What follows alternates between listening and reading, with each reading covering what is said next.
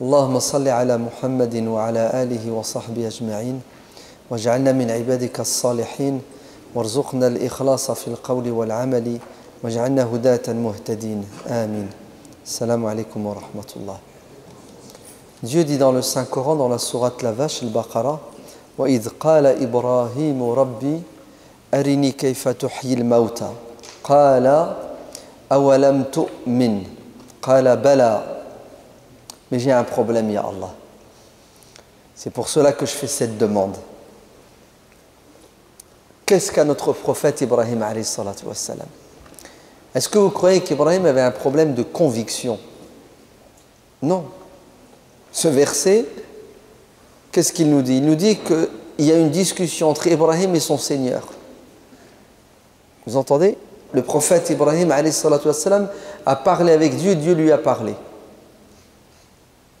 Donc, il est clair et net qu'Ibrahim croyait en Dieu et il croyait dur comme fer. Pourquoi Vous pensez qu'Ibrahim doutait? Qui doute? C'est celui qui est loin de Dieu. Ibrahim, parmi ses qualificatifs, c'est quoi? Il est appelé Khalilu ar-Rahman, celui qui était très proche, intime, l'ami intime de, de Dieu. Vous voyez la relation entre Ibrahim et Dieu Elle est extraordinaire, elle est magnifique, elle est belle. Vous vous souvenez d'Ibrahim, ce qui lui est arrivé quand il était plus jeune? Quand ils ont voulu l'immoler, ils l'ont jeté dans le feu.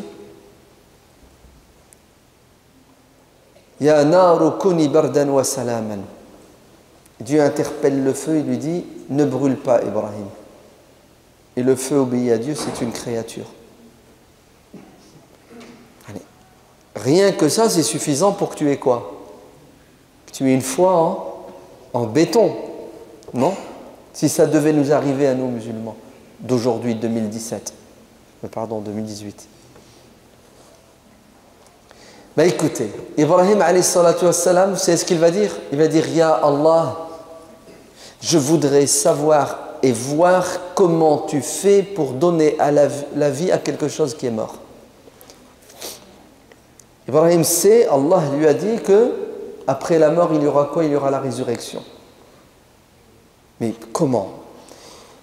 Un animal, il devient poussière. Nous, les êtres humains, on va devenir poussière? En fait, Ibrahim, comme nous tous, il est fait de quoi? Il est fait d'un corps, il est fait d'un cœur et il est fait d'un... Alors vous l'appelez comme vous voulez, un cerveau, l'intelligence, mais la faculté de penser, de réfléchir, la raison. Trois dimensions. Vous êtes d'accord? Et les trois dimensions, les trois composantes de l'homme, doivent quoi? Doivent se soumettre à Dieu. La soumission du corps se traduit de la manière suivante. Tu utilises tes membres, tes facultés, les cinq sens comme Dieu veut que tu les utilises. Tu t'éloignes de ce qu'il interdit et tu fais ce qu'il a autorisé, mais de manière mesurée. Je n'entre pas dans les détails. Le cœur, tu crois en tout ce qu'Allah te demande de croire. Il t'a dit de croire au paradis, tu crois au paradis. Cherche pas à discuter. Tu crois aux anges, je crois aux anges. Cherche pas. C'est de l'invisible et l'invisible, nous devons quoi? Nous devons l'intégrer l'accepter sans discussion parce que nous n'avons pas les moyens de quoi? De discuter tout simplement parce qu'il nous dépasse, c'est invisible. La troisième dimension, ah, ah, c'est autre chose. La raison, c'est quoi la raison? C'est cette prédisposition qu'a l'être humain à poser et à se poser des questions. Et oui, on se pose des questions. Lesquelles? Pourquoi ceci? Comment cela? Comme notre corps a des besoins, quand il a faim, on lui donne à manger, quand il a soif, on lui donne à boire. Notre cœur, quand il a faim, il se nourrit de quoi? Bah, De ce qu'on vient de faire, la prière. Donc, il entre en contact avec Dieu au niveau spirituel. Et la raison, quand elle a faim, Quand elle pose ces questions, qu'est-ce qu'il lui faut? Mais il lui faut des réponses, tout simplement. Ainsi, Ibrahim wassalam, et il est notre prophète et nous devons le prendre comme exemple. Vous entendez? Cette histoire, ce n'est pas pour meubler le Coran, c'est pour en tirer des leçons. Et quelles leçons nous devons tirer? De cet événement Ibrahim se pose des questions. Et Dieu ne lui dit pas, tais-toi. Ça ne te regarde pas. De quoi tu te mêles? Comment je vais créer les êtres humains une deuxième fois? Mais Vous avez compris? Qu'est-ce que Dieu lui dit? Il lui dit, Ahlan wa sahlan. Pas de souci, Ibrahim. C'est bien. Je t'ai doté d'un cerveau, d'une raison. Tu l'as fait marcher, c'est très bien. Le danger, c'est quoi? C'est que l'être humain ne fasse pas fonctionner cette machine qui s'appelle la raison. Et Dieu condamne ceux qui ne réfléchissent pas et qui ne cherchent pas à réfléchir. Ils ont tout pour réfléchir et ils ne veulent pas réfléchir. Je vous ai donné les cinq sens, je vous ai donné le cerveau, et au lieu de le faire fonctionner comme il se doit, qu'est-ce que vous faites? Vous êtes au chômage dans ce domaine-là. Vous regardez ce qu'il ne faut pas, vous écoutez ce qui ne va pas, vous ne posez pas les bonnes questions, et vous ne réfléchissez même pas à ce qu'il faut réfléchir. Et regardez ce que Dieu va dire. Ils ressemblent aux animaux. Et c'est vrai, les animaux ont des yeux, des oreilles, ils ont un instinct qui leur permet de rester en vie, de se défendre, etc. Et Dieu nous dit, mais alors c'est quoi la différence entre vous et les animaux si vous contentez de quoi? De prendre soin de votre corps. Non, non, non, non, non, il y a autre chose de supérieur. Et Dieu, dans le Coran, dit à plusieurs reprises, à ces gens qui ne veulent pas réfléchir. Qu'avez-vous à ne pas réfléchir alors que vous êtes prédisposé Je vous ai créé, je vous ai mis la bonne disquette. Pourquoi vous réfléchissez pas? C'est incroyable, subhanallah. L'être humain ne raisonne pas alors que c'est ce qui le distingue de toutes les autres créatures.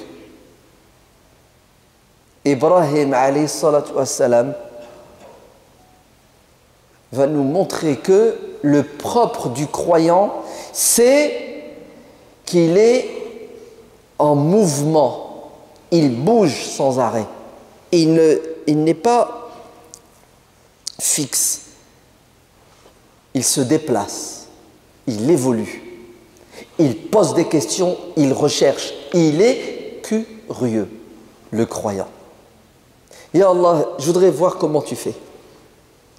Dieu aurait pu très bien lui dire, on verra plus tard, hein, quand tu seras mort, je te ressusciterai le premier, puis tu regarderas. Non, non, l'être humain, quand il a des questions, il veut des réponses tout de suite. Sinon, il dort pas, ça le ronge. Vous avez compris? Regardez. Dieu dit à Ibrahim, Awalam tu'min? Ya Ibrahim, tu as un problème de foi? N'es-tu pas croyant? Ya Ibrahim, tu sais très bien que je suis capable de donner la vie à nouveau aux créatures défuntes. Non, Ya Allah, c'est pas ça mon problème. Dieu, sait c'est quoi son problème, vous inquiétez pas. J'ai pas un problème avec ta puissance, j'ai pas un problème avec ta sagesse. Non, non, non, je sais que tu existes, je sais que tu es capable de tout. J'ai juste un problème, tu sais avec quoi? Avec mon cerveau. Il est curieux. Je veux comprendre. Je veux pas rester toute ma vie bête. Je veux voir. Eh oui. Ah là là, si seulement on suivait les traces d'Ibrahim, on serait des croyants apaisés comme Ibrahim était un croyant apaisé. Ibrahim, il avait la tête sur les épaules, il avait le cœur en paix. Vous savez pourquoi? Parce qu'entre sa tête et son cœur, il n'y avait pas de conflit. Les deux allaient dans le même sens. Il, ne s'est pas soumis à Dieu bêtement et stupidement. La preuve, il était en conflit avec qui? Avec son père. C'est-à-dire la personne qui normalement aurait dû le... Alors, je mets des guillemets, mais je fais exprès. Hein, manipuler. Vous êtes bien d'accord que les parents façonnent les, enfants. Hein, il, les, procrée ensuite, intellectuellement, religieusement, éthiquement, il les fabrique. Ben, subhanallah. Ibrahim, wassalam, il dit à son père, je ne suis pas d'accord avec toi, papa. Non, non, désolé, je t'aime bien, tu es mon père, je te dois du respect, je te ferai du bien, mais stop, j'ai un cerveau, papa. Tu vas pas me faire avaler cette histoire de quoi De statut. Impossible. Et il est jeune, hein? c'est un adolescent, voire un enfant.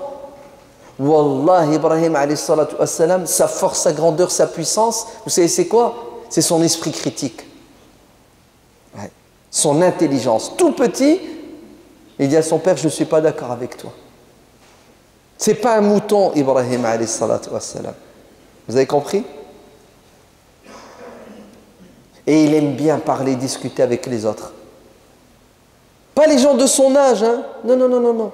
Même les adultes, Ibrahim les interpelle. C'est ce qu'il leur dit. Il leur dit, je ne comprends pas pourquoi vous adorez les astres. Parce que les astres, ils sont grands, ils sont beaux, ils sont puissants, ils sont au-dessus de nous, etc., etc., etc. Ok, d'accord. Très bien. Le lendemain matin, c'est ce qu'il leur dit Où sont vos dieux? Ils ont disparu. On ne voit plus les étoiles, les astres. Comment vous faites pour adorer quelque chose qui disparaît? Très bien. Ils reviennent à l'attaque Ibrahim dit Ok, c'est ce que je vais faire. Moi, je vais adorer la lune. La lune est beaucoup plus quoi? Beaucoup plus grande. Ah, c'est bien, Ibrahim, tu vas adorer la lune. Masha'Allah, super. C'est ce qu'il leur a fait le matin. Il leur dit Mais elle est où la lune? Ça n'a aucun sens d'adorer quelque chose qui bouge, quelque chose qui disparaît, quelque chose qui est en mouvement. Allez, ce verre-là, vous avez vu, il a bougé. Hein? De lui-même? Non, c'est moi qui l'ai bougé. Donc je suis supérieur au verre. J'ai exercé une force sur, sur le verre. C'est pour ça, ouvrez bien vos oreilles. La plupart des savants musulmans disent que le hadith rapporté par l'imam al-Bukhari qui dit que les matins à l'heure de l'Fajr, dans le dernier tiers de la nuit, Dieu descend au premier ciel et il dit Est-ce qu'il y a parmi vous des gens qui veulent que je leur pardonne? Je leur pardonne. Des gens qui ont besoin de quelque chose Je leur donne. Savez ce que disent la plupart des savants? Ce hadith, il ne faut pas le prendre à la lettre. Car Dieu ne peut pas se déplacer. Si Dieu se déplace, ça veut dire qu'il est limité dans l'espace. Et s'il se déplace, ça veut dire quoi? Ça veut dire euh, qu'il y a des forces extérieures non, non, non, non. C'est ce que ça veut dire. Dieu descend au premier c'est-à-dire que Dieu est proche de nous. C'est-à-dire, toi, tu dois te réveiller à ce moment-là où tout le monde dort, c'est le silence, et tu parles avec ton Seigneur parce que tu es sincère et tu as fait cet effort, Dieu est proche de toi. C'est ça que veut dire le hadith. Mais les salafis, là, ouais, et certains hambalites anthropomorphistes, disent il faut le prendre à la lettre. Mais vous êtes fous. Ce qu'Ibrahim reproche aux adorateurs à son époque, c'est d'adorer des choses qui apparaissent et disparaissent. Des choses qui, qui bougent. Vous savez ce que dit Ibrahim? Il dit c'est n'importe quoi. C'est pas la lune qu'il faut adorer, il faut adorer quelque chose de plus grand, de plus fort, de plus beau, de plus puissant, de plus utile que la lune. C'est qui? Le soleil. Le soir, c'est ce qu'il dit. Il dit, mais c'est n'importe quoi d'adorer le soleil. Regardez, il a encore disparu, là, j'ai besoin de lui. Soleil, où es-tu? Vous avez compris? Ibrahim ramène les gens vers quoi? Vers la logique et le bon sens. Ce qui est inférieur ne peut pas avoir une autorité sur ce qui est supérieur. Hein? cette chaise, cette chaise-là, Elle est inférieure à moi, elle ne réfléchit pas. Donc elle ne peut pas avoir une autorité sur moi parce que moi je suis supérieur à elle. Vous me suivez? Ben Alors c'est bête et stupide que quelqu'un de supérieur adore quelque chose d'inférieur. Allez, si la chaise pouvait parler, qu'est-ce qu'elle me dirait? S'il te plaît, tu peux me déplacer? Et je la déplace parce que je suis supérieur à la chaise. Le contraire, je vais demander à la chaise de me donner à boire et à manger. Elle va me donner à boire et à manger? Elle ne peut pas, elle est inférieure à moi. C'est exactement cette logique qu'Ibrahim va utiliser avec les gens chez lui, dans son village, dans sa ville. Savez ce qu'il leur dit? Il casse toutes les statues et laisse la plus grande.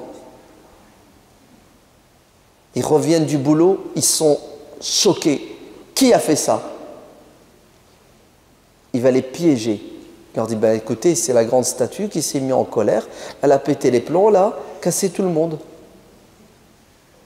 Et pendant un instant, pendant un instant, ils y ont cru. Et après, ils vont hocher de la tête, ils vont se mettre une claque. Je veux dire, tu te moques de nous, Ibrahim. Une statue, ça bouge pas. Une statue, ça ne se déplace pas. Ben alors pourquoi vous l'adorez? Pourquoi vous l'adorez? Au lieu de reconnaître leur bêtise, leur égarement, c'est ce qu'ils vont faire Tuez-le. Vous avez vu l'être humain comment il est? Au lieu d'accepter qu'il s'est trompé, qu'il est à côté de la plaque, qu'est-ce qu'il fait? Il s'enorgueillit. El kibr. Tuez-le. Mais vous ne devez pas me tuer, vous devez me remercier parce que je vous ai ouvert l'esprit en vous disant ça n'a pas de sens d'adorer une statue que vous avez fabriquée puisqu'elle n'écoute pas, elle n'entend pas, elle ne parle pas. Comment voulez-vous qu'elle vous fasse du bien? Pire, elle est incapable de se défendre. Et vous lui demandez à la statue de vous protéger. C'est quoi? Non, en fait, vous savez quoi? Ils ne raisonnent pas, ils ne réfléchissent pas, il n'y a pas de logique. D'où leur vient cette adoration bête et stupide Vous avez compris Elle leur vient d'où l'héritage. L'être humain, il est prisonnier de quoi De son héritage, de son éducation. Tu as grandi dans un milieu, le milieu t'a influencé, que ce soit tes parents, que ce soit la société, que ce soit ce que tu lis, ce que tu sens, ce que tu entends, tout ça, ça te façonne. Et le but de la révélation, pourquoi Allah nous envoie un livre, il vient d'où le livre? Il vient de la terre ou du ciel? Il vient du ciel. Donc le livre est quoi? Il est au-dessus de l'être humain. Et le but du livre, du livre, c'est de nous libérer. Et vous savez comment le livre nous libère? Vous savez comment? Ben, Il commence par Iqra. La première des choses qu'Allah nous a demandé de faire, c'est s'il a commencé par Iqra, c'est pas important, si, si, quand même, non? Ça va?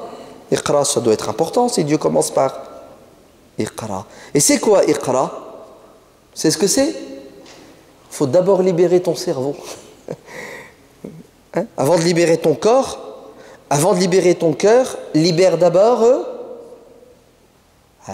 Il faut commencer par ça, là. Si là-dedans, tu es handicapé, t'es mort, t'es cuit. Tu peux rien faire. Rien. Tu ne peux pas avancer, tu, ne peux pas évoluer. Il faut d'abord que l'être humain se libère intellectuellement. Il faut d'abord que l'être humain recouvre sa raison, récupère sa raison qu'il a perdue. Pourquoi est-ce que l'être humain perd sa raison?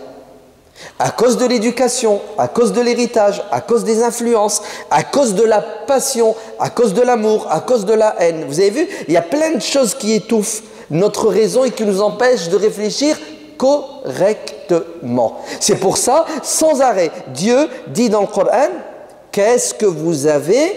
Pourquoi est-ce que vous ne réfléchissez pas, bon sang?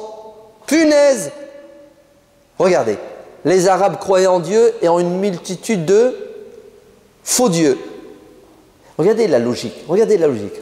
Pour qu'ils arrêtent d'adorer les statues, Dieu va piquer leur raison. C'est ce qu'il leur dit s'il y avait dans le ciel deux dieux, juste deux, pas besoin de 450, hein, juste deux, Vous savez ce qui se passerait? Mais il se ferait la guerre. Pourquoi? Parce qu'il y en a un qui va décider que demain il fasse chaud et l'autre froid. Il y en a qui va décider qu'il pleuve et l'autre non. C'est possible qu'il y ait deux chefs? Vous avez vu la logique? C'est pas ce que vous dites, ça n'a pas de sens. Très bien, les chrétiens. Vous dites que Issa c'est le c'est le fils de Dieu? Bah, si Dieu a un fils, il a une femme. Eh oui. Donc Dieu a une femme. Est-ce que vous vous rendez compte de ce que vous dites Dieu a une femme? Le Coran, ouvrez bien vos oreilles, utilise des arguments rationnels pour prouver A plus B l'existence de Dieu et la nullité de toute forme d'adoration autre que celle de Dieu. Regardez le traître, un Nemrod, c'est comme ça qu'il s'appelle dans les livres d'histoire. Nemrod, c'est le pharaon à l'époque d'Ibrahim, le, Bachar, le Sisi, c'est les dictateurs. Il a un problème avec Ibrahim, le dictateur. C'est quoi le problème qu'il a avec Ibrahim? Ben, C'est qu'Ibrahim est dangereux. Parce qu'Ibrahim pousse les gens à réfléchir. Donc, si les gens réfléchissent, automatiquement, ils vont vouloir se libérer. Car celui qui ne réfléchit pas, il est prisonnier, il est esclave. Vous me suivez? Et les dictateurs veulent que les êtres humains soient quoi? Soient des esclaves pour continuer à les exploiter. Donc toi, Ibrahim, tu es dangereux. Mais alhamdulillah, le dictateur qui avait l'époque d'Ibrahim, était un bon dictateur. Euh, excusez-moi, euh, je me suis mal exprimé. on le regrette. On aurait tant aimé que les dictateurs d'aujourd'hui ressemblent à ceux qui avaient à l'époque de Moussa et d'Ibrahim. Parce que Pharaon discutait avec Moïse. Vous avez compris? Nemrod discutait avec eux, Ibrahim. À coup de quoi? À coup d'arguments que le meilleur l'emporte. Aujourd'hui, les dictateurs, ils discutent avec... Euh, ils discutent pas. Ils n'acceptent pas la contradiction. Très bien. Qu'est-ce que tu dis à Ibrahim? Moi, je dis qu'il y a un créateur qui a créé l'univers. Nemrod lui dit, c'est moi, Dieu. Ah bon, c'est toi? Agib, je ne savais pas. Qu'est-ce qu'Ibrahim va lui dire? Ibrahim, il va lui dire Tu dis n'importe quoi Non, c'est pas comme ça qu'on parle. Il va dire T'es fou Pas du tout. C'est ce qu'il lui dit C'est quoi la preuve? Ah, Dalil, la preuve. Vous avez vu la raison, l'intelligence? C'est ce que le Coran nous enseigne. Si tu dis quelque chose, tu as intérêt de préparer les preuves de la véracité de tes propos. Si tu n'as pas de preuves, ce que tu dis, c'est du vent. Tu parles pour parler. Tu ressembles au mouton qui bêle. C'est facile de parler. Non, il faut parler intelligemment. Et pour parler intelligemment, il faut réfléchir. Et pour bien réfléchir, il faut du savoir, il faut de la connaissance.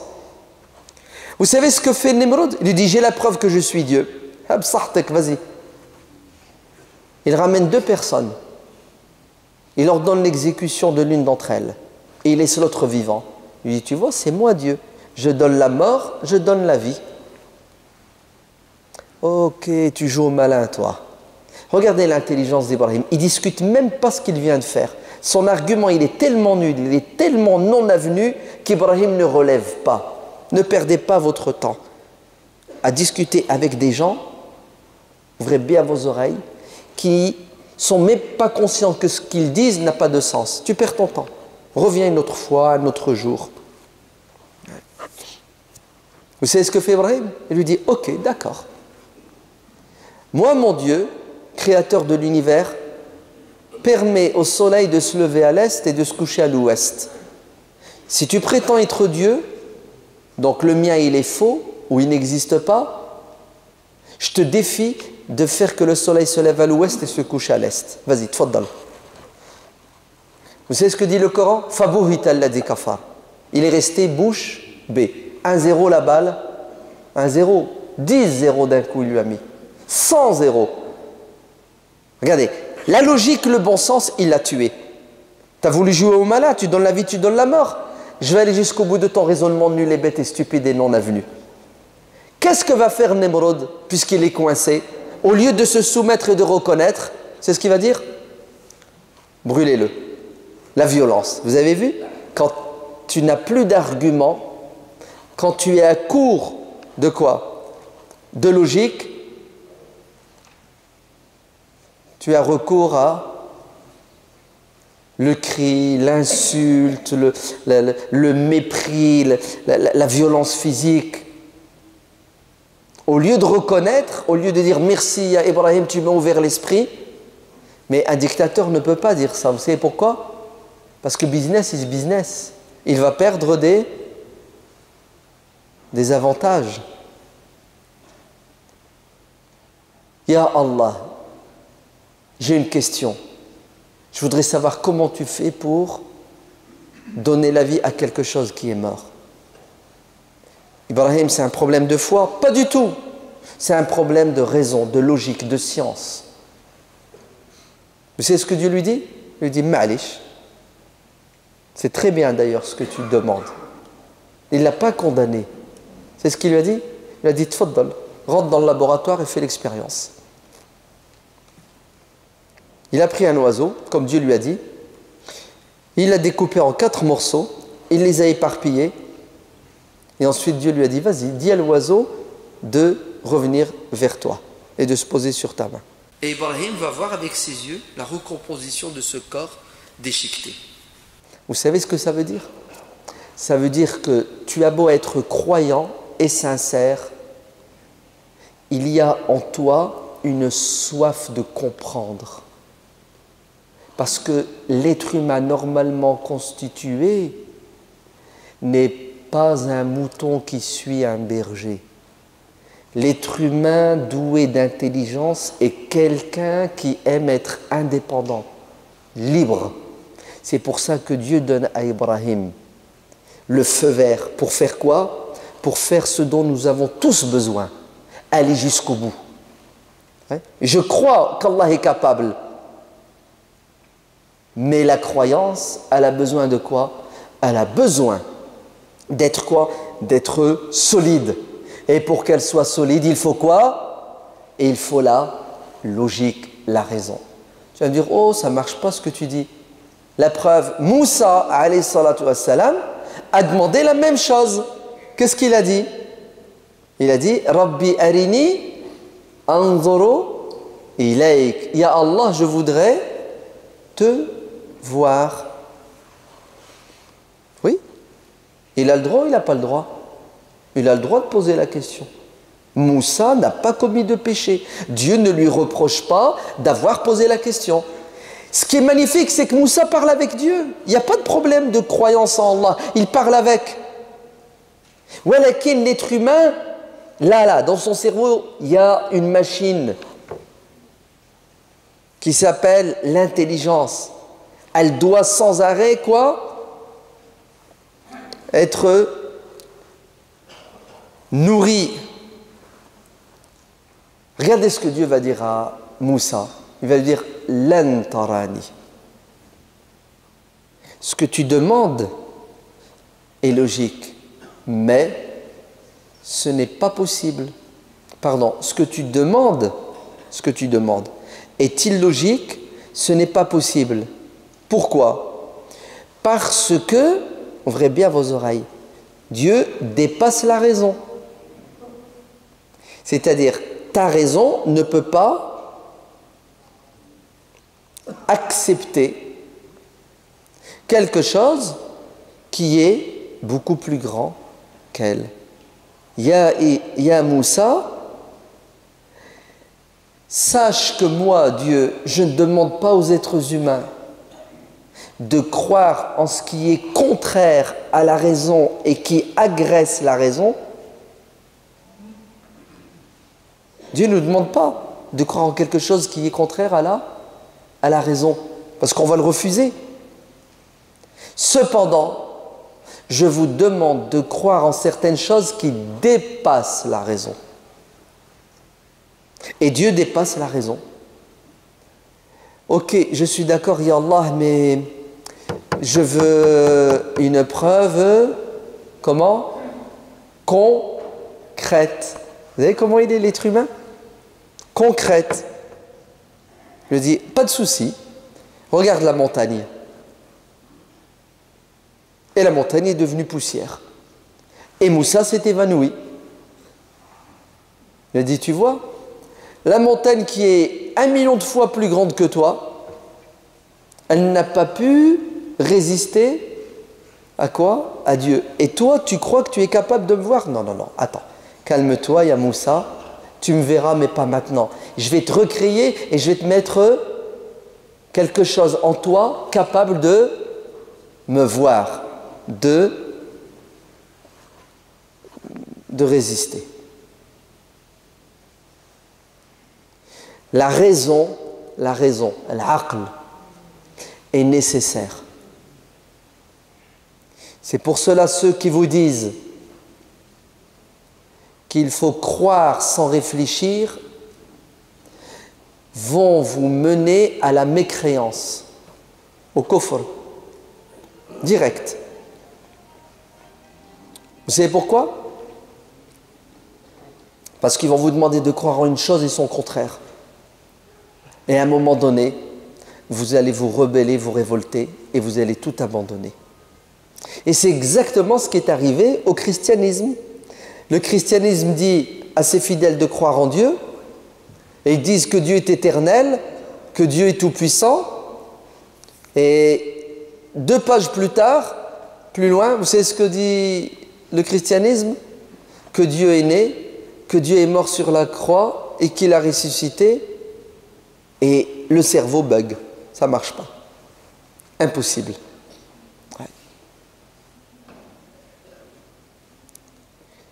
Les Sahaba anhum, étaient des gens qui croyaient avec intelligence. Ce n'étaient pas des gens qui acceptaient tout et n'importe quoi. Ils avaient un esprit critique, ils avaient du recul. Prenons l'exemple d'Abu Bakr Saddiq.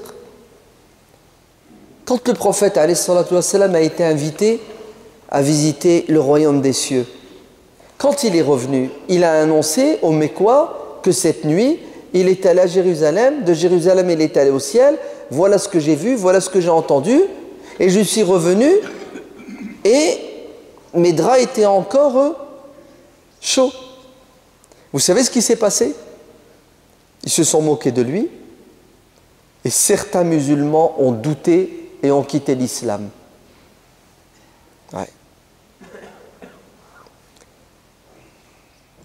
Les hypocrites, les mécréants saisissent l'occasion pour répandre l'information, pour faire fuir les gens de l'islam en voulant faire croire que Mohammed délire. C'est impossible. Et ils arrivent auprès d'Abou Bakr et lui disent hein, Tu sais ton ami là, ton acolyte, il dit qu'il est allé euh, au ciel en quelques minutes, il est revenu. Quelle a été la réaction d'Abu Bakr? Elle a été la suivante. Si ce que vous dites est vrai, allez, ils lui ont ramené une info, mais peut-être qu'elle est, qu'elle est fausse. Donc il met une condition.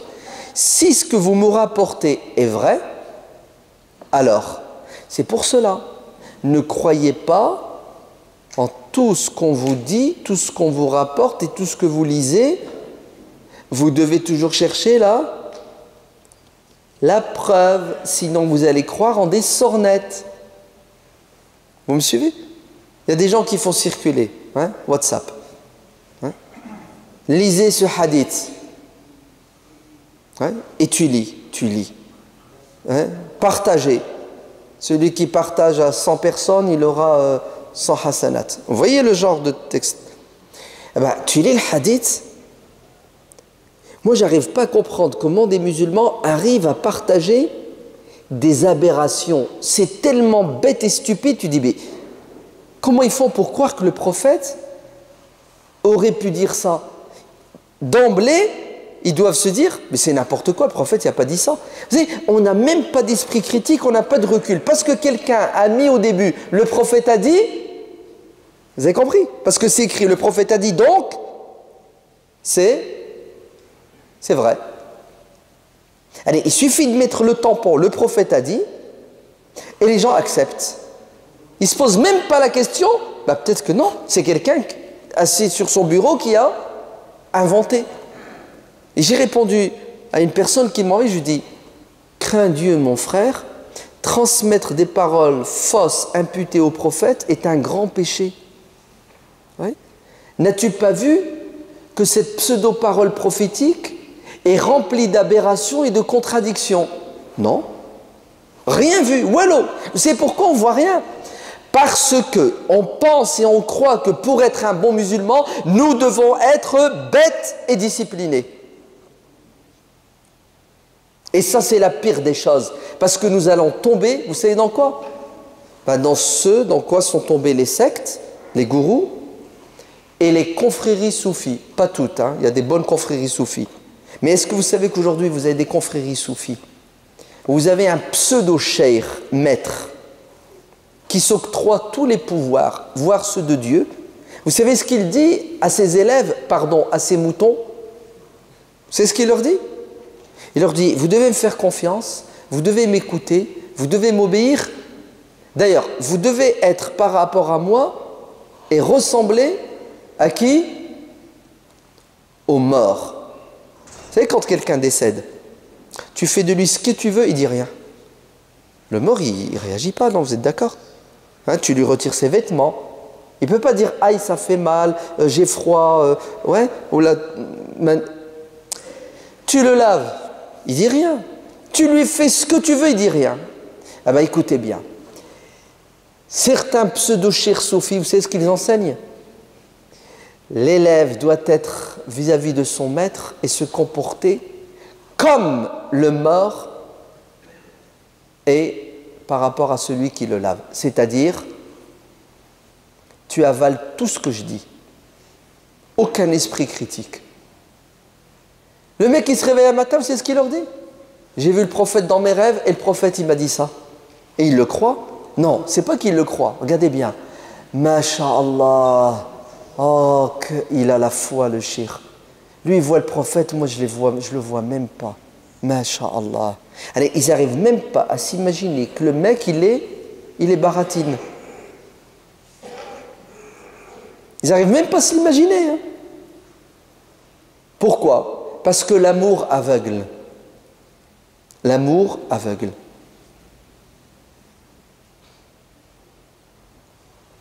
Abu Bakr, qu'est-ce qu'il a dit? Si ce que vous me rapportez est vrai, donc il se peut que ça soit faux, alors je crois en ce que Mohammed dit. Pourquoi? Parce que je crois qu'il reçoit la révélation. Et c'est quoi la révélation? Ben, C'est un ange qui descend du ciel en un clin d'œil, donc en moins de temps que le temps qu'il a passé à monter et revenir. La logique et le bon sens veut que je le crois parce qu'il est véridique. Vous savez qu'Abou Bakr, lui, n'a pas douté, il est resté stable. Pourquoi il est resté stable? Parce qu'Abou Bakr, sa foi était basée sur la logique, sur le bon sens. Vous savez, Abou Bakr, qu'est-ce qu'il a dit du prophète Il dit c'est pas un menteur. Pourquoi tu dis que c'est pas un menteur? Ben, Parce que je le connais depuis 40 ans. On a le même âge. Vous, avez vu l'intelligence d'Abou Bakr? Quand le prophète est mort, ça a déstabilisé pas mal de musulmans. Comment Abou Bakr a réagi? Alors qu'on est tous convaincus qu'Abou Bakr était celui qui, parmi les compagnons du prophète, l'aimait le plus. Vrai ou faux? Vous savez qu'est-ce qu'a dit Abou Bakr? Taisez-vous. Le prophète est mort. Vous savez pourquoi il est mort? Parce que c'est un être humain. Tous les êtres humains vont mourir. Deux, ceux qui adoraient le prophète, qu'ils sachent qu'ils ne sont pas clairs. Leur Dieu est mort. Quant à ceux qui adoraient Dieu, ben, ils peuvent continuer à l'adorer parce que Dieu ne meurt pas, car Dieu est éternel. Regardez comment dans un moment hyper compliqué, hyper difficile, où les hypocrites sont en train de rire et de sourire parce que les musulmans ont perdu leur chef, leur maître, leur guide, Abu Bakr garde la tête froide. Et il leur dit Oh, c'est pas la fin du monde, vous avez compris? C'est pas la fin du monde. Hein. L'islam ne s'arrête pas avec la mort du prophète. Au contraire, l'islam va continuer et l'islam va. C'est incroyable. Imaginez-vous si Abu Bakr hein, s'était effondré et tous les sahaba s'étaient effondrés. Ben, l'islam aurait disparu avec la mort du prophète. Non. L'amour ne doit pas nous aveugler si bien que nous quittons l'islam. Il y a des gens qui ont quitté l'islam. C'est à cause de quoi? À cause d'un excès d'amour. Je vais vous donner la preuve. Ali ibn Abi Talib anhu a dit si vous voulez connaître et rester dans la vérité, faites la distinction entre celui qui parle de la vérité et la vérité. Connaissez la vérité, formez-vous intellectuellement, spirituellement, comme ça, le jour où celui qui vous parle de la vérité, donc le religieux, il tombe, vous, vous restez debout. Car votre religion n'est pas tributaire de quoi? D'un être humain. Regardez comment Ali nous enseigne à quoi? À garder nos distances avec quoi? Avec ce qui est relatif. Qu'est-ce qui est relatif? C'est l'homme. La vérité divine, elle est quoi? Elle est éternelle. Est-ce que vous savez que quand le prophète est décédé,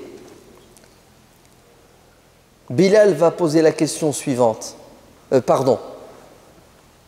C'est Fatima, salam, la fille du prophète, salam, qui dit à Bilal et à Anas Comment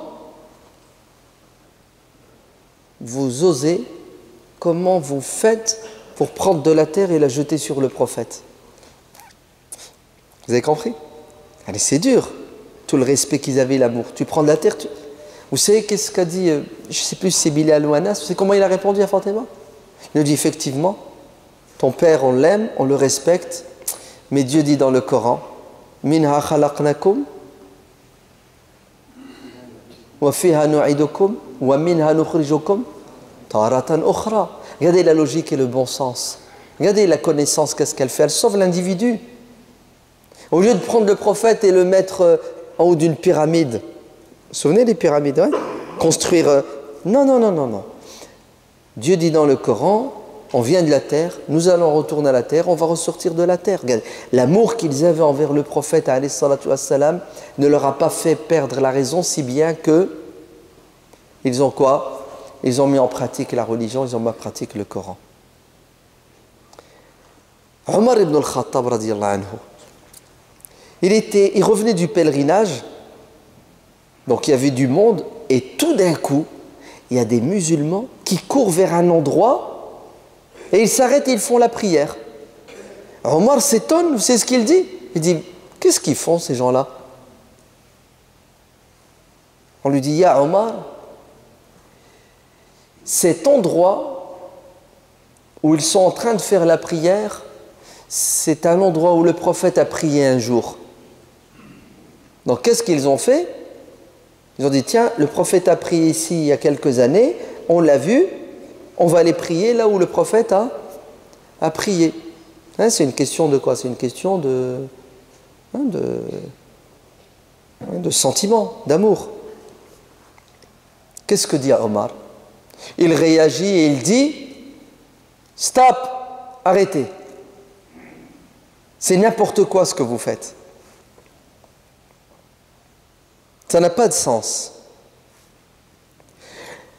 Toute la terre est un lieu de prière. Quand c'est l'heure, là où tu es, tu pries. Sauf un endroit qui nous a été mis en exergue par le messager de Dieu. Celui qui fait la prière dans cette mosquée, il a autant de récompenses. Mais ce n'est pas parce que le prophète il a prié là-bas que vous devez courir aller prier là-bas. Pourquoi? Parce que le prophète il a prié là-bas, parce qu'il est arrivé là-bas et c'était lors de la prière, il a prié Arrêtez de quoi De sanctifier cet endroit parce que le prophète y a prié. Vous comprenez pourquoi Omar a coupé l'arbre hein Vous savez, quand le prophète a prêté serment, quand les musulmans ont prêté serment, hein Dieu dit dans le Coran, dans la surat Al-Fatih, إن الذين يبايعونك إنما يبايعون الله لقد رضي الله عن المؤمنين إذ Dieu est satisfait de ses croyants, 1400 sahabis qui ont prêté, qui se sont engagés à quoi? À défendre la justice jusque la mort. Et le prophète s'est mis sous un arbre et les gens y passaient pour donner leur parole. Qu'est-ce qu'a fait Omar de cet arbre? Il l'a coupé, il l'a brûlé. Vous savez pourquoi? Pour éviter que que l'amour des musulmans les égare et fasse part, avec le temps, fasse que les musulmans sacralisent. Quoi Sacralisent C'est pour cela quand Omar est arrivé devant la pierre noire, qu'est-ce qu'il a dit? Il a dit Wallah, tu es une pierre qui fait ni du bien ni du mal. Tu n'as aucun pouvoir. oh, il est trop fort. Elle est une pierre qui n'a aucun pouvoir. Mais tu sais ce que je vais faire là? Je vais descendre et je vais poser mes lèvres sur toi, pas parce que je pense que... Non, tu sais pourquoi je le fais? Parce que j'ai vu le prophète le faire. Tout simplement. Mais je ne t'accorde aucun pouvoir. Tu es ni capable de me faire du mal, ni capable de me faire du bien. Alors, elle expliquait ça aux musulmans qui se bagarrent. Pourquoi? Pour pas l'embrasser, juste la toucher. C'est bon, je l'ai touché, je vais aller au paradis. Vous voyez à quoi s'accrochent les musulmans? Leur amour de la religion les aveugle, si bien qu'ils ont des comportements aberrants. Mais quand je vous dis c'est de l'aberration, c'est de l'aberration. Hein. Ils n'arrivent pas à garder un esprit critique, ils sont des suiveurs illogiques. Ali ibn Abi Talib anhu a dit Si la religion était une question de logique et de bon sens, alors il nous aurait été demandé, quand on fait les ablutions et on regarde chez ses chaussettes, d'essuyer le bas, un qui est sale, et non pas le dessus. C'est bon, vous avez compris le hadith de Ali? Donc si la religion, c'était une question de logique et de bon sens, c'est pas le dessus de tes chaussures qu'il faut frotter avec tes mains mouillées, mais c'est le dessous. Donc la religion, c'est quoi? C'est tu pratiques et tu cherches pas à, comprendre. C'est ça? Mais non, si vous me dites c'est ça, ça veut dire que tout ce que j'ai dit depuis une heure, euh, c'est à la poubelle. Alors on fait quoi avec cette parole de Ali ibn Abi Talib? Ah, ah. Vous savez ce qui est bizarre? C'est que certains musulmans vont aller vous chercher une parole d'un compagnon avec tout l'amour et le respect que nous avons pour les compagnons, ou vont aller chercher un hadith qui est imputé au prophète, qu'ils vont considérer comme authentique, et ils vont remettre en question 10, 100, 1000 versets du Coran, ils vont les oublier. Tout le Coran nous invite à penser, à réfléchir, à analyser, à, à critiquer, et tout ça va tomber à l'eau parce que Ali ibn Abi Talib a dit tu essuies le dessus et non pas le, le dessous. Vous avez compris le problème où il est?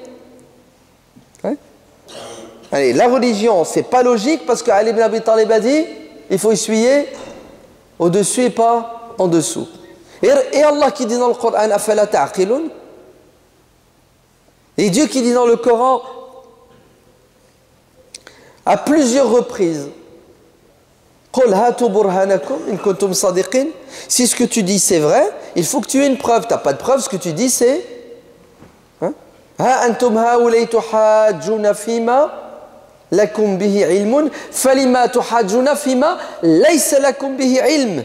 Quand vous parlez en connaissance de cause, ça passe. Mais dès que vous commencez à parler de ce que vous ne maîtrisez pas, vous dites n'importe quoi. Qu'est-ce que vous avez? C'est quoi ces deux poids, ces deux mesures?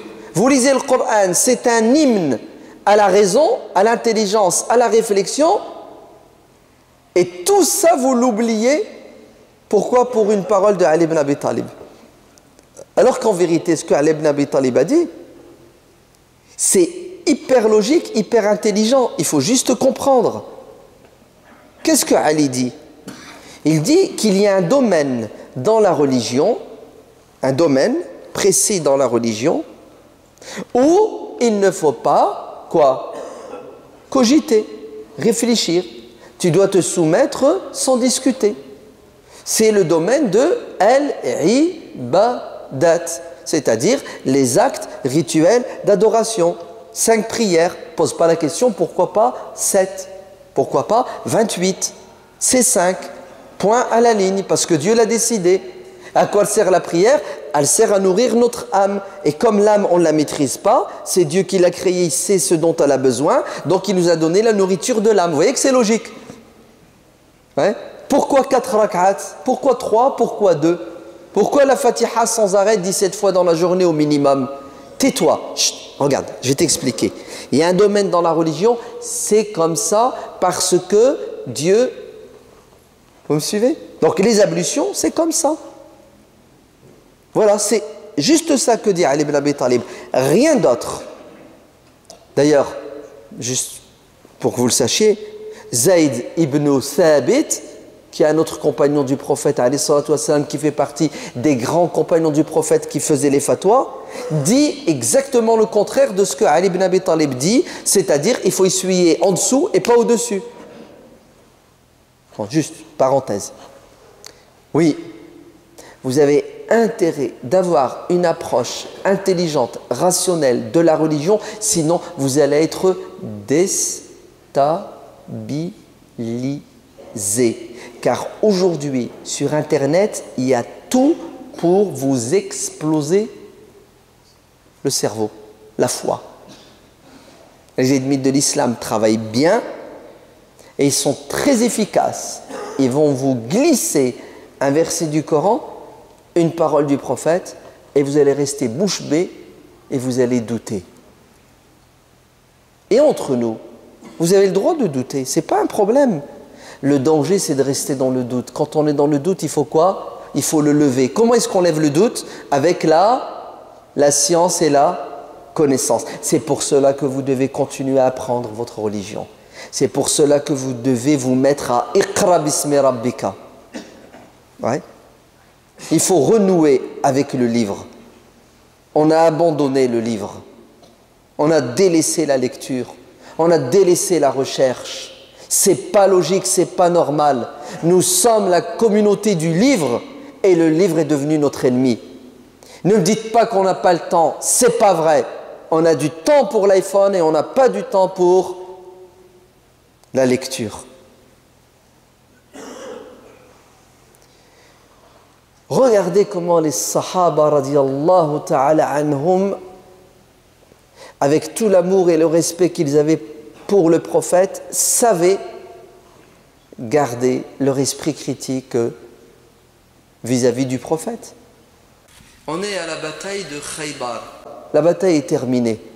Les cuisiniers de l'armée préparent le repas. Vous savez ce qu'ils ont décidé euh, pour euh, ce repas? Ils ont décidé d'offrir aux musulmans de l'âne. Oui.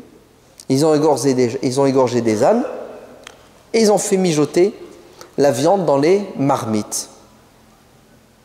Quand le prophète apprend cela, il ordonne à ce que les marmites soient vidées et détruites. Jetez tout ça à la poubelle. La viande de l'âne est haram. Qu'est-ce que font les cuisiniers Ils commencent à vider, et à peine ils ont vidé la viande, et ils veulent casser les marmites ou jeter à la poubelle, que quelqu'un intervient et les stoppe en leur disant stop, arrêtez, arrêtez, arrêtez, arrêtez. Qu'est-ce que vous faites? Bah, Le prophète nous a dit de tout jeter à la poubelle. Il leur dit non, non, non. Vous jetez à la poubelle la viande et vous gardez les marmites et vous les nettoyez, on en a encore besoin. Est-ce que vous vous rendez compte de ce que vient de faire Omar Il vient de dire le contraire de De quoi? De ce que le prophète a dit. Alors Omar va voir le prophète et il l'interpelle. Vous savez ce qu'il lui dit? Il lui dit Ya Rasulallah, c'est toi qui leur as dit de tout jeter? Il a dit oui. Il dit Prophète, je ne suis pas d'accord. Moi, je te propose mieux. On jette la viande de l'âne, puisque tu as dit que c'était haram. On nettoie les marmites au javel et on les utilisera pour autre chose. Qu'est-ce que le prophète lui dit, Est-ce que le prophète lui dit Tu es un égaré à Omar puisque tu discutes mes ordres? Tu es un égaré à Omar puisque tu proposes le contraire de ce que je dis? Ne sais-tu pas que je suis l'envoyé de Dieu et que je suis inspiré?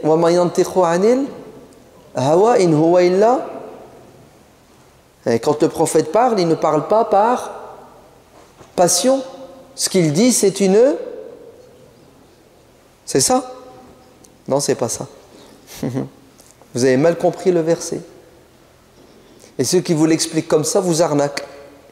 Et Wallah, c'est comme ça qu'on a grandi. Moi, je me souviens, depuis que j'entends, je comprends, on m'a toujours dit que le prophète, quand il parle, ce qu'il dit, ça vient d'où? Wahyun yuha. C'est une révélation. C'est-à-dire, c'est Dieu qui parle à travers le prophète. C'est faux. La preuve que c'est faux, bah, Omar ibn al-Khattab discute ce que le prophète a dit. Vous savez ce que va dire le prophète à Omar? Écoutez bien, il va dire Ok, tu as raison, Ya Omar. Ton idée est meilleure que, que la mienne. Ah, qu'est-ce que c'est beau. Regardez la modestie du prophète, wassalam. Regardez comment le prophète éduque ses compagnons à avoir un esprit critique par rapport à quoi? Par rapport. Euh, c'est impressionnant, non Vous trouvez pas? Vous savez pourquoi Omar fait ça? Parce que Omar a très bien compris que quand le prophète parle, parfois ce qu'il dit vient de Dieu et l'on lui doit obéissance sans discuter, et parfois ce qu'il dit vient de qui? Ça vient de lui-même. Et là, il y a matière à, discuter. Vous avez compris? Regardez, regardez comment le prophète enseigne à ses compagnons l'esprit critique, la raison et le et le bon sens. Et Wallah, des exemples comme ça, il y en a des dizaines. Il y en a des dizaines. C'est l'Aïcha? Il reste 4 minutes? En résumé, en résumé, il nous est demandé de nous soumettre à Dieu totalement. Et se soumettre à Dieu totalement, c'est se soumettre intelligemment. Se soumettre intelligemment, c'est faire l'effort d'apprendre et de comprendre. Le taqlid, le mimétisme répété bêtement est haram en islam dans un domaine qui s'appelle les croyances. Il est autorisé pour la masse dans le domaine des pratiques. Parce qu'on n'a pas tous le temps et la possibilité de faire la faculté de sciences religieuses pour savoir les détails de la pratique. Mais ce n'est pas parce que nous ne sommes pas savants et nous ne le sommes pas dans les sciences religieuses que nous devons écouter et suivre sans recul, sans esprit critique, sans intelligence. Vous allez me dire, ouais, mais tu es en train de dire qu'on doit euh, se rebeller? Non. Je suis en train de vous dire que vous devez être en mode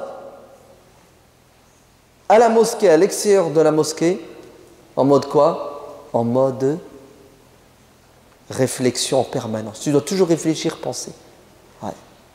L'imam parle. Regardez ce que je veux dire. Si le prophète sallallahu alayhi wa sallam était parmi nous aujourd'hui et qu'il parlait, qu'est-ce qu'on doit faire? On doit faire comme Omar ibn al-Khattab anhu. Ouais. On a le droit de lever le doigt et de dire prophète, je ne suis pas d'accord. Et si le prophète nous dit, t'as pas le choix, c'est Dieu qui me l'a dit, ça vient de Dieu, qu'est-ce qu'on fait? On dit Amen. Mais si le prophète nous dit, c'est mon opinion, c'est mon avis, nous avons le droit de quoi? Vous savez cette manière de penser, qu'est-ce qu'elle euh, donne comme résultat? Allah, elle donne la tolérance. Parce que si un jour vous entendez un imam et un savant qui vous dit blanc, et le lendemain quelqu'un qui dit noir, bah, vous n'êtes pas déstabilisé. Pourquoi? Bah, Parce que vous réfléchissez, vous allez comparer les deux avis, vous allez demander les preuves, vous allez pencher plus pour l'un que pour l'autre parce que vous allez voir que les arguments de l'un sont plus solides, plus probants. Vous me suivez? Ça va vous éviter de quoi? D'être déstabilisé quand vous entendez des avis différents et surtout ça va vous éviter d'être déstabilisé quand quelqu'un va mettre le doigt sur une contradiction apparente dans votre religion. C'est ce que vous allez dire? Vous allez dire non. Tu vas voir. Je reviens demain. Je vais faire une recherche. Mais si vous restez comme ça, vous stagnez au niveau intellectuel, au niveau rationnel, les temps sont durs et difficiles. Beaucoup de gens ont quitté l'islam. Eh oui. Beaucoup de gens qui surfent sur Internet. Et qui entendent et qui écoutent. Alors qu'ils ne sont pas armés. Quittent l'islam parce que d'autres sèment le doute. Combattez le doute, Allah comme avec le savoir et l'intelligence. Qu'Allah nous donne la force de rester musulmans. Qu'il nous donne la bonne compréhension de la religion. Qu'il nous donne la sincérité dans nos paroles, nos actes et nos intentions. Qu'Allah aide nos frères et sœurs qui combattent l'injustice partout sur terre. Qu'Allah donne la force à nos frères de résister à toutes les épreuves, parce qu'elles sont nombreuses et elles sont difficiles. Qu'Allah nous aide à éduquer nos enfants, qu'il les protège des diables visibles et invisibles. ربنا آتنا في الدنيا حسنة وفي الآخرة حسنة وقنا عذاب النار.